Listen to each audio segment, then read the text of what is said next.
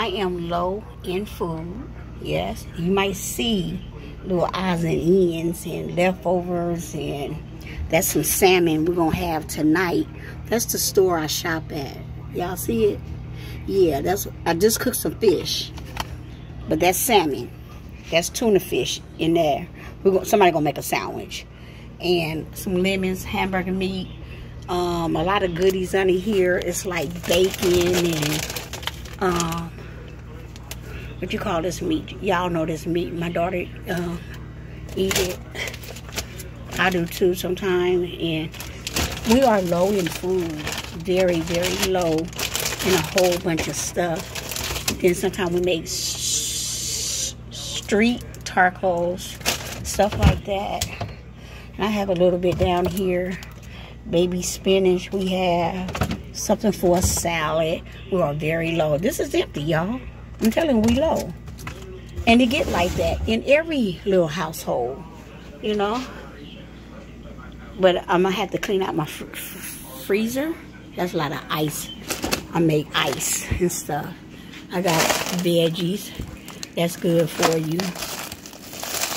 And other veggies. And uh, we got some shrimps. We just bought some uh, meat from the store. You see that? So I can make a stew. Um, here go another one. Uh, what is this? Okay, some oxtail. And we're gonna make some beans. We got beans right here.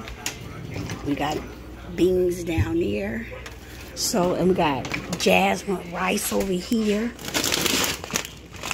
Let me see. Can I bring it out, y'all? See, that's jasmine rice. So we're gonna we're gonna be eating some beans and rice, but we are very, very low. And in my little deep freezer got a little bit of more meat. So let me grab my top robins. And this this is my lunch for today as my food's still getting low. I have shrimps, a little seasoning in there. Um, shrimp seasoning is in here because we had like a little pasta the other night. So I just add them, um, what you call it? Them shrimps to it. And then I just fried me some um, fish, okay? So that's what I'm finna eat. I got something to drink. I got a banana back there to help me with my health and all that other good stuff. But you can like, you can share. And um, have a blessed day, a beautiful day. Be safe. And just take care of yourself.